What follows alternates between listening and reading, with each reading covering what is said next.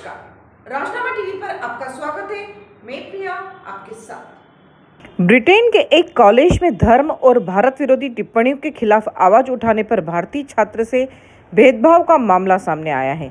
हरियाणा के गुरुग्राम में रहने वाले Karan Kataria London university union union election का चुनाव लड़ रहे थे, लेकिन हिंदू और भारतीय होने के चलते उसे अयोग्य घोषित कर दिया गया। Karan London school of economics से लॉ की पढ़ाई कर रहे हैं। भारतीय छात्र ने आरोप लगाया कि लंदन यूनिवर्सिटी में भारत विरोधी अभियान चलाया जा रहा है। इस संबंध में करण ने डेमोक्रेसी कमेटी में अपील की, लेकिन उनका पक्ष नहीं सुना गया। यही नहीं, कुछ इस्लामिक स्टूडेंट्स और एक लॉबी ने उनका विरोध भी किया।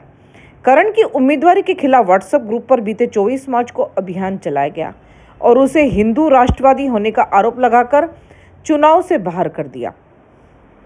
भारत विरोधी बयानों के खिलाफ बोलने के आधार पर उसके साथ भेदभाव किया जाता है।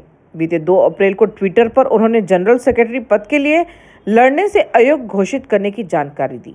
करण ने आरोप लगाया था कि उसे भारत के पक्ष में आवाज़ उठाने और हिंदू फोबिया की वजह से व्यक्तिगत शातिराना तरीके से टारगेट किया गया। करण ने मांग की है कि कॉलेज इस बारे में सही फैसला ले। करण ने कहा, दोस्तों ने मुझे चुनाव लड़ने के लिए प्रेरित किया, लेकिन कुछ लोग एल का नेतृत्व करने के लिए मुझ जैसे भारतीय हिंदू को नहीं पचा पा रहे थे। इसी कारण से उन्होंने मेरी छवि खराब की। इसी के साथ बने रहिए राजनामा टीवी के साथ। धन्यवाद।